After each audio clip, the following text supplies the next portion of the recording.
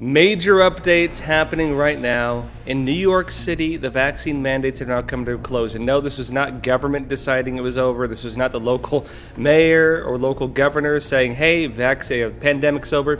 This was the New York Supreme Court determining that based on Biden's statements that the pandemic was over and based on, well, violations of the Constitution, that everybody who lost their jobs during the COVID 19 pandemic because they refused to get vaccinated should be reinstated to their jobs and also get back pay for everything they lost.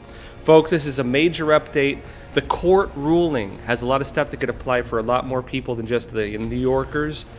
And folks, this is this is going to I think really have some sweeping effects when it comes to lawsuits, when it comes to other people standing up for their rights because the New York Supreme Court determination is is pretty profound.